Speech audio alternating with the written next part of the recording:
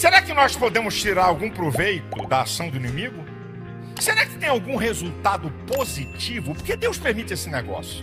Hã? Será que tem? Será que a gente pode tirar algum proveito desse negócio todo aqui, de acusação, de debilitar, hã? de frustrar, de levantar adversário, de usar força e violência? Hã? Como é que é isso? Será que tem algum proveito? Deus permite essas coisas acontecerem. Sabe para quê? Primeiro, quando tem inimigo, quando tem força contrária, quando tem adversário sobre você, você passa a ficar prudente. O que, é prudência? Evitar erro.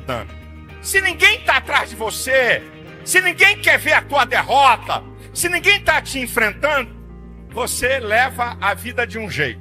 Mas se você tiver debaixo de pressão, se você estiver debaixo de gente que quer o que você quer e quer te derrubar, você fica prudente.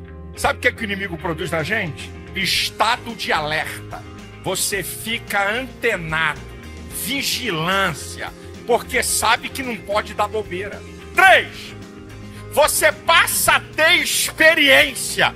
Como é que você pode lidar com adversário, com adversidade, até para ser preparado para vencer lutas maiores.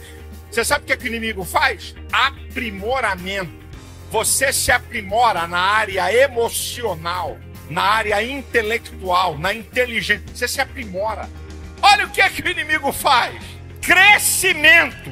Você fica mais preparado, mais experiente. Olha o que, é que o inimigo faz: amadurecimento. Pode vir, já conheço isso. Já passei por outras e vou vencer essa também tudo isso que está acontecendo com você não é para te destruir, mesmo que o inimigo esteja prevalecendo.